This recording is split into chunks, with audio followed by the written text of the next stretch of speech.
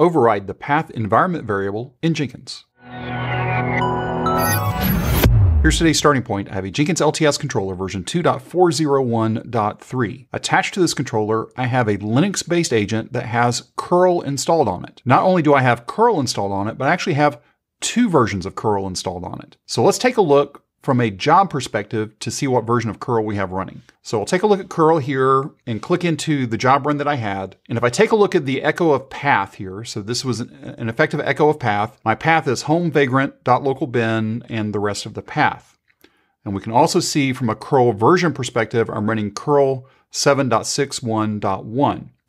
Now, when I did the installation of curl, that was the latest version of curl that was available to me through the package manager. If we go over and take a look at the curl website, we can see that the latest version of curl at the time of recording is 8.2.1. So there's a very big difference between 7.61 and 8.2.1. So how do we reconcile this and make sure that the curl that I use within my job is actually the 8.2.1. Let's go over and take a look at the agent and see what version of curl we see just from the command line.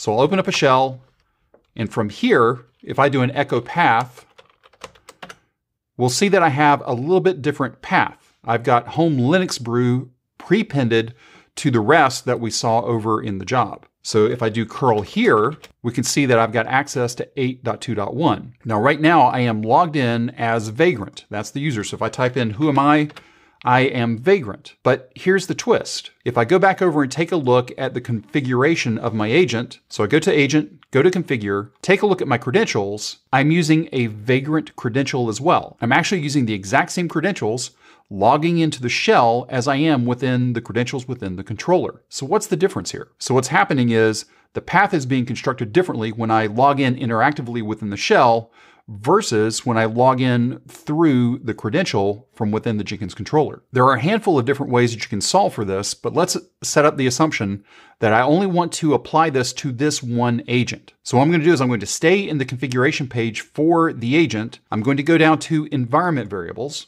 and I'm going to add a new environment variable. But before we do that, let's take a look at the help for the environment variables. The key part here is we don't want to just use path. We don't want to override the full path. Jenkins also supports a special syntax base plus extra, which allows you to add multiple key pair values, which will be prepended to an existing environment variable. What I'm wanting to do now is I'm wanting to prepend the homebrew version of curl, which lives inside of home Linux brew. So I'll want to take both of these directory structures here and prepend it to the existing path that's being reconciled as the agent is connected. If we take a look at the example that's here as well, if you have a machine that has path equals user bin, if you wanted to put local bin in front of it, you would just give it path plus local underscore bin. And then once it resolves, you'll see that prepended in front of user bin.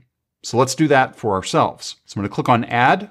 I'm going to type path plus, and I'm going to say homebrew bin because when I installed the 8.2.1 version of curl, it was installed through homebrew. Let's go back over to the shell. I'm just going to go ahead and copy what homebrew added in, and we'll paste that in all in one line here.